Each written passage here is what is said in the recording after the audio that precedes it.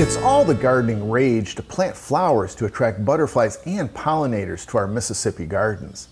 Here are some of my favorites for the landscape.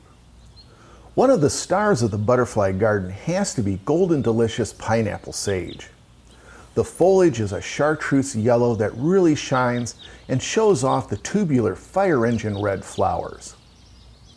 Butterfly weed was chosen as a Mississippi medallion native plant in 2012.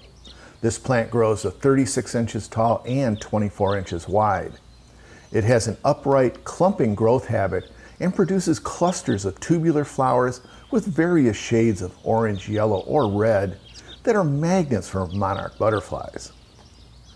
Purple coneflowers are great native plants and one of the best plants you can grow in your garden to attract pollinators.